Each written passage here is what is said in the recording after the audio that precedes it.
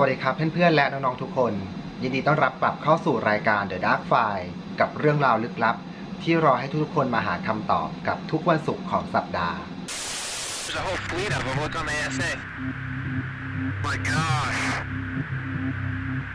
They're all going against the wind. The wind's 120 knots from the west. Look at that thing, dude.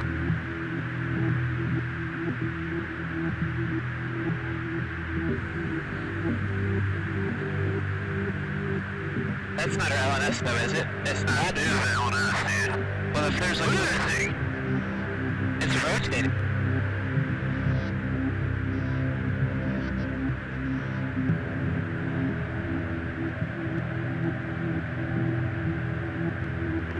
Tango 6-1,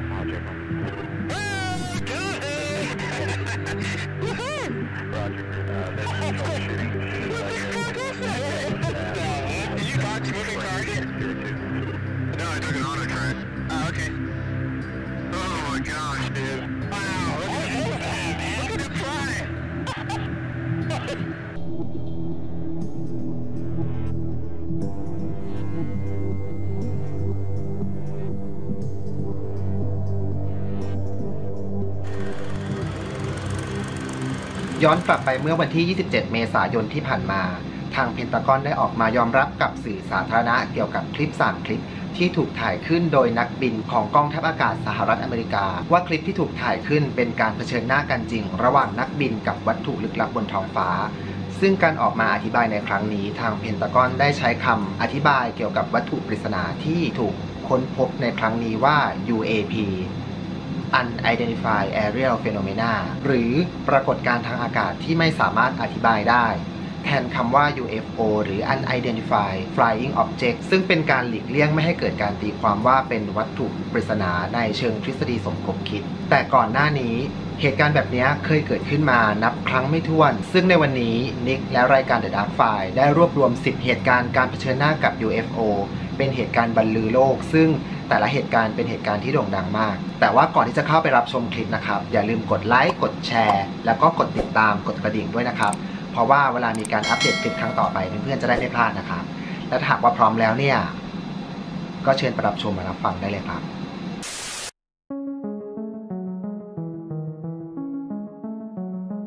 วันที่ 19 เดือนมิถุนายน ปี 2011 หนังสือพิมพ์แท็บลอยต่างพากันลงข่าวเกี่ยวกับภาพถ่ายปริศนา ซึ่งเป็นภาพโซนาถูกถ่ายขึ้นโดยปีเตอร์ลินเบิร์กและเดนิสอาร์เบิร์กร่วมกับทีมดำน้ำ Ocean X ซึ่งเป็นผู้เชี่ยวชาญเกี่ยวกับการดำน้ำค้นหาวัตถุโบราณ และสิ่งประดิษฐ์ในเชิงประวัติศาสตร์ในขณะที่พวกเขากำลังดำน้ำเพื่อค้นหาซากเรือเก่า บริเวณทะเลสาบบอลติกภาพถ่ายที่ได้เป็นภาพถ่ายของวัตถุประหลาด ซึ่งอยู่ภายใต้น้ำลึกประมาณ 1,300 ฟุตจากระดับน้ำทะเลบอลติก วัตถุประหลาดนั้นเป็นวัตถุทรงกลมนะครับซึ่ง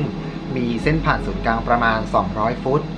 มีลักษณะโครงสร้างเป็นทางลาดลงไปเหมือนกับบันไดนะครับ แล้วก็มีลวดลายที่ค่อนข้างมั่นใจได้ว่าไม่น่าจะเกิดขึ้นจากฝีมือของธรรมชาติ ซึ่งนักดำน้ำทีม Ocean X เนี่ยเขาก็ได้ย้อนกลับไปเพื่อที่จะศึกษาวัตถุประหลาดชิ้นนี้ โดยการทำเป็นไซต์งานของเขา แล้วก็ได้นำชิ้นส่วน ของวัตถุประหลาดนี้เนี่ยส่งไปให้ผู้เชี่ยวชาญพิสูจน์ ซึ่งในภายหลังโฟเกอร์บรูเชอร์รองศาสตราจารย์ด้านธรณีวิทยาของมหาวิทยาลัยสตอกโฮล์มได้ออกมาอธิบายว่าชิ้นส่วนที่ทีมดำน้ำ Ocean X ได้นำมาให้เขาพิสูจน์เนี่ยมันเป็นชิ้นส่วนที่ไม่ใช่โลหะ แต่เป็นหินที่เกิดจากภูเขาไฟ 2 ชนิด ได้แก่ limonite และ goethite ซึ่งหิน 2 อย่างเนี่ยเป็นหินภูเขาไฟ และในบริเวณทะเลบอลติกเนี่ยมันไม่มีภูเขาไฟครับ มันเลยเป็นปริศนาว่า ไอ้วัตถุประหลาดเนี่ยมันมาโผล่ที่ทะเลบอลติกได้ยังไง และในภายหลังเนี่ยเขาก็มีนักวิทยาศาสตร์หลายคนที่พยายามออกมาอธิบายว่า มันอาจจะเกิดจากทฤษฎีของเปลือกโลกเคลื่อนที่ ซึ่งมันอาจจะพาไอ้เจ้าวัตถุประหลาดเนี่ยมาจากที่ใดที่หนึ่งมาอยู่ที่ทะเลบอลติกนี่ก็เป็นได้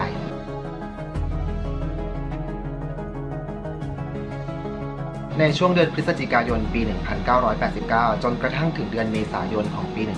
1990 มีรายงานเกี่ยวกับการพบเห็น UFO ของประชาชนในประเทศเบลเยียม หลายครั้งด้วยกัน ซึ่งการพบเห็น UFO ในครั้งนี้ทำให้ประชาชนของประเทศเบลเยียม มีการตื่นตัวเป็นอย่างมาก นักข่าวหลายๆสำนัก พากันตีพิมพ์ข่าวแล้วก็ทำข่าวเกี่ยวกับเรื่องนี้ มีนักบินถูกส่งขึ้นไป เพื่อตรวจสอบหลังจากการรายงานการพบเห็น UFO ของประชาชน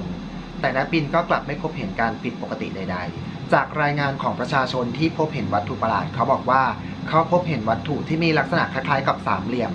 ลอยอยู่เหนือท้องฟ้า แล้วก็มีการถ่ายภาพไว้เป็นหลักฐานได้บางส่วน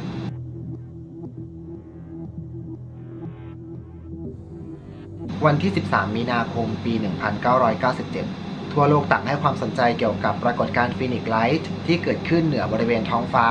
ของเมืองฟีนิกซ์รัฐแอริโซนา ประเทศสหรัฐอเมริกา เมื่อมีกลุ่มคนเห็นไฟขนาดใหญ่ที่มีลักษณะคล้ายกับเครื่องบินลำมหึมา บินต่ำแล้วก็บินช้าๆ เหนือบริเวณภูเขาคาเมลแบ็กมุ่งหน้าไปทางทิศใต้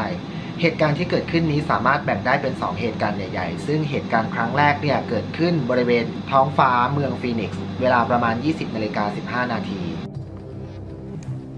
All right, these lights changed the valley forever. They've become known as the Phoenix Lights. On March 13, 1997, people across the state watched as they passed over Arizona. Some say these lights are proof the truth is really out there. มีคนเห็นวัตถุประหลาดรูปลิ่ม ค่อยๆ เคลื่อนที่ไปทางตอนใต้ของรัฐบริเวณเหนือพื้นที่ของเมืองทูซอน เหตุการณ์แรกนี้มีผู้พยายามอธิบายว่ามันคือเครื่องบินสามลำที่บินมาด้วยกัน แต่ด้วยความที่ว่าเขาบินมาในลักษณะที่เป็นรูปตัว V และมันมีบางครั้งที่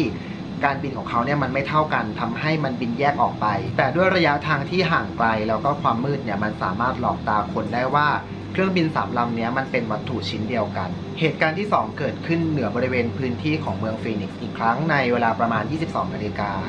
และเหตุการณ์นี้มีผู้ให้ความสนใจเป็นจำนวนมาก เพราะว่ามีคนถ่ายได้ทั้งรูปแล้วก็วิดีโอ เขาพบเห็นดวงไฟ 9 ลูกนะครับ ซึ่งลอยอยู่บนท้องฟ้าเหนือเมืองฟีนิกซ์แต่ในภายหลังเนี่ยทางกองทัพสหรัฐอเมริกาได้ออกมาอธิบายว่า มันเป็นผลมาจากการจุดพลุของการฝึกซ้อมการบินของเครื่องบิน A-10 Thunderbolt จำนวน 4 ลำ ซึ่งฝึกซ้อมการบินอยู่ที่บริเวณพื้นที่ของฐานทัพแบรี่โกวอเตอร์แต่พยานหลายคนก็ต่างยืนยันว่าสิ่งที่เขาเห็นเนี่ยมันไม่ใช่การจุดพลุของ เครื่องบินอย่างแน่นอน แต่ว่ามันเหมือนกับเครื่องบินขนาดใหญ่ หรือวัตถุประหลาดบางอย่างขนาดใหญ่ที่บินอยู่เหนือท้องฟ้า บริเวณพื้นที่ที่เขาอาศัยอยู่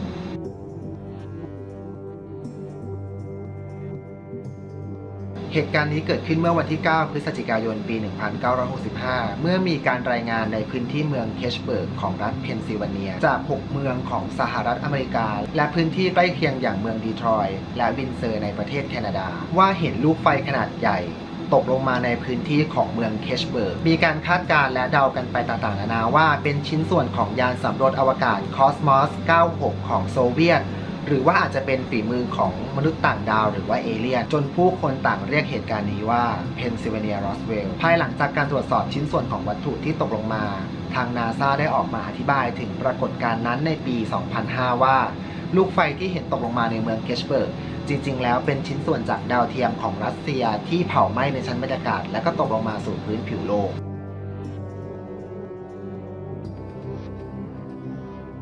STS-75 เป็นภารกิจที่ 75 ของกระสวยอวกาศของนาซาถูกเปิดตัวในเดือนกุมภาพันธ์ปี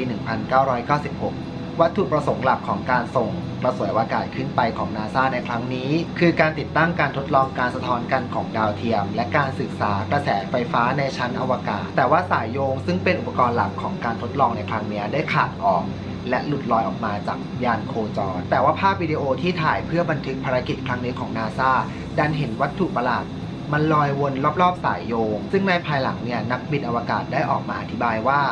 วัตถุประหลาดที่เห็นในวิดีโอ จริง ๆ แล้วเนี่ยมันเป็นเพียงแค่ชิ้นส่วนบางอย่างของกระสวยอวกาศที่มันแตกออก แต่ด้วยสภาพไร้น้ำหนักและการสะท้อนกันของแสงอาทิตย์ทำให้เราเห็นวัตถุประหลาดเนี้ยมันลอยวนไปวนมาอยู่รอบสายโยง อย่างที่เพื่อนๆจะเห็นในคลิปดังต่อไปนี้นะครับ Uh, quick, uh, good job. You adjusting the cameras. 100 nautical miles. Uh, you completely unzoomed and uh, you see the full extent of the pattern.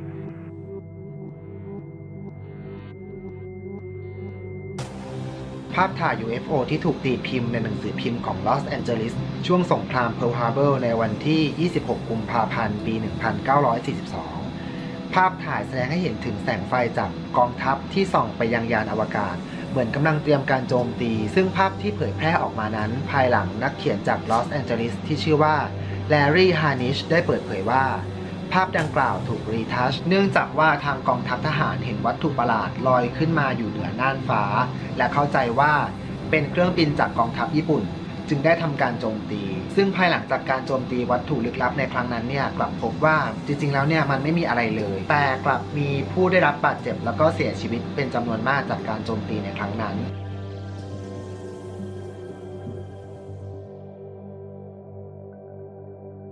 เวลาประมาณ 23นาฬิกา40 นาที ในคืนวันเสาร์ที่ 19 กรกฎาคม ปี พศ 1952 เอ็ดเวิร์ดนูเจน ซึ่งเขาเป็นผู้ควบคุมการจราจรอากาศ ได้รายงานต่อหัวหน้าของเขาว่า เรดาร์บนหน้าจอของเขารายงานถึงความผิดปกติเป็นจุดถึง 7 จุดบนหน้าจอ เหตุการณ์เกิดขึ้นที่สนามบินแห่งชาติวอชิงตันในกรุงวอชิงตันดีซี ซึ่งมีการพบเห็นวัตถุลึกลับบริเวณทำเนียบขาว แล้วก็บริเวณศาลากลางอย่างชัดเจน พวกเขาตรวจสอบจนแน่ใจแล้วว่าไม่มีเครื่องบินใด ๆ ที่รู้จักบินผ่านบริเวณนั้น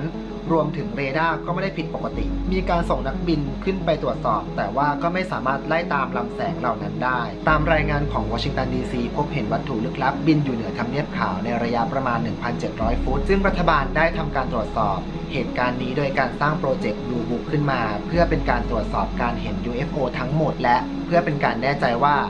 เหตุการณ์ทั้งหมดนี้ไม่ได้เป็นภัยคุกคามต่อความมั่นคงของชาติ ภายหลังได้มีการออกมาอธิบายอย่างเป็นทางการของกองทัพอากาศ ว่าเหตุการณ์ทั้งหมดที่เกิดขึ้นแท้จริงแล้วคือปรากฏการณ์ทางธรรมชาติ ซึ่งอาจหมายความว่าลำแสงที่เห็นนั้น จริง ๆ แล้วอาจจะเป็นเพียงแค่อุกกาบาตหรือว่าดวงดาวก็เป็นได้ ส่วนการจับความผิดปกติของคลื่นเรดาร์นั้น ทางกองทัพอากาศได้ออกมาอธิบายว่า มันเป็นความคลาดเคลื่อนของการรายงานที่อาจเกิดจาก สภาพอากาศที่มันผกผันกันอย่างรุนแรง โดยเรดาร์อาจจะรายงานแสงที่อยู่บนพื้นดิน คลาดเคลื่อนเป็นแสงที่เกิดขึ้นบนท้องฟ้า I'm here to discuss the so-called flying saucer. A basic difficulty in dealing with these is that there is no measurement แต่คำอธิบายของกองทัพอากาศในครั้งนั้น ดูจะไม่ได้รับการตอบรับที่ดีจากประชาชน เนื่องจากคำอธิบายที่ว่า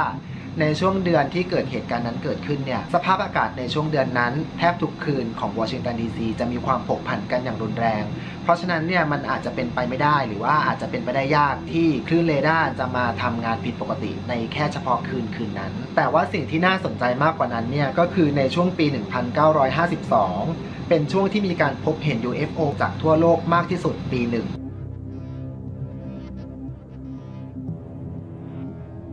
เหตุการณ์นี้เกิดขึ้นเมื่อวันที่ 24 มิถุนายน ปี 1947 เมื่อนักบินที่ชื่อเคนเนตอาร์โนลได้อ้างว่าเขาเห็นวัตถุที่ไม่ทราบชื่อ มีลักษณะเป็นประกายถึง 9 เส้น บินผ่านภูเขาเรเนียนด้วยความเร็วที่เขาประเมินว่าอย่างน้อยเนี่ย 1,200 ไมล์ต่อชั่วโมง ซึ่งในตอนแรกเขาเห็นแสงไฟกระพริบคล้ายกับแสงแดดที่สะท้อนจากกระจก และหลังจากนั้นประมาณ 30 วินาที อาโนก็เห็นกลุ่มวัตถุปริศนากลุ่มนั้นเนี่ย มันกระพริบเป็นเหมือนไฟกระพริบอีกครั้งหนึ่ง ซึ่งในตอนแรกเนี่ยเขาก็คิดว่ามันอาจจะเป็นฝูงห่านที่บินอยู่ข้างบนหรือเปล่า แต่ว่าด้วยความสูงแล้วก็ความเร็วในระดับนั้นเนี่ย มันไม่สามารถจะเป็นฝูงห่านได้ ซึ่งในท้ายที่สุดแล้วเนี่ยเขาก็เลยคิดว่ามันน่าจะเป็นเครื่องบินเจ็ตชนิดใหม่ แต่มันก็น่าแปลกใจตรงที่ว่า เมื่อเขาหันกลับไปหรือว่าพยายามที่จะค้นหาว่าวัตถุที่เขาเห็นนะมันเป็นเครื่องบินเจ็ตประเภทไหน เขาก็ไม่เห็นอะไรอีกแล้ว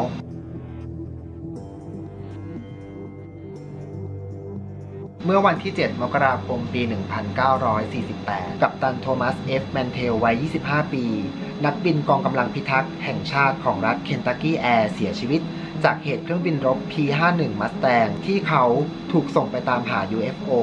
เหตุการณ์นี้เป็นเหตุการณ์หนึ่งในเหตุการณ์ UFO ในช่วงต้นปีที่มีการเผยแพร่มากที่สุด ภายหลังมีการสืบสวนจาก Project Blue Book กัปตันแมนเทลเนี่ยเสียชีวิต จากการไล่ตามบอลลูน Skyhook ซึ่งเป็นบอลลูนของโครงการลับสุดยอดที่ไม่เคยมีใครรู้มาก่อน แต่อย่างไรก็ตามนะครับมีการโต้แย้งความคิดนี้เนื่องจากว่าไม่มีการพบเห็นบอลลูน Skyhook ในพื้นที่ที่เกิดเหตุ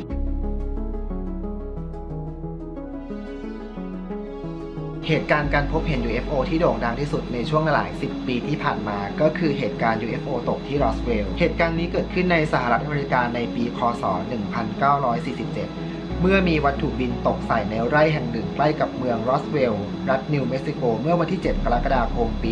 1947 มีคำอธิบายมากมายหลากหลายเกี่ยวกับเหตุการณ์นี้ทั้งที่เป็นทางการแล้วก็ไม่เป็นทางการ แม้รัฐบาลนะครับจะออกมาประกาศว่าเหตุการณ์ดังกล่าว สรุปแล้วก็คือบอลลูนเฝ้าตรวจการของสหรัฐ แต่คำอธิบายที่โด่งดังที่สุดดูเหมือนจะเป็นคำอธิบายที่บอกว่า วัตถุดังกล่าวเป็นยานอวกาศที่มีสิ่งมีชีวิตนอกโลก และเหตุการณ์ที่รอสเวลล์นี้เป็นเหตุการณ์ที่เป็นหัวข้อถกเถียงกันอย่างกว้างขวางเกี่ยวกับทฤษฎีสมคบคิดที่เกี่ยวกับ UFO คุณผู้ชมครับและทั้งหมดนี้ก็คือ 10 เหตุการณ์การพบเห็น UFO ที่โด่งดังมากที่สุดของโลกในช่วงหลายสิบปีที่ผ่านมา อย่างน้อยเนี่ย เราก็อาจจะพูดได้ว่า เราอาจจะไม่ใช่สิ่งมีชีวิตสิ่งเดียว บนโลกใบนี้ในจักรวาลอันกว้างใหญ่แห่งนี้ และถ้าหากว่าทั้งหมดนี้มีการออกเสียงผิด หรือว่าอ่านผิดตรงจุดไหนเนี่ยนี่ก็ต้องขอโทษมาณโอกาสนี้ด้วย ถ้าหากว่าน้องๆคนไหนได้มีเหตุการณ์ที่น่าสนใจ สามารถคอมเมนต์บอกเล่ากันได้ที่ด้านล่างนะครับเผื่อว่าในครั้งต่อไปเนี่ยจะได้มาเจาะลึกเป็นประเด็นในการทำคลิปในครั้งต่อไป ส่วนในครั้งนี้เนี่ยดีคงต้องขอลาไปก่อน แล้วเดี๋ยวยังไงพบกันในคลิปหน้านะครับสำหรับวันนี้สวัสดีครับ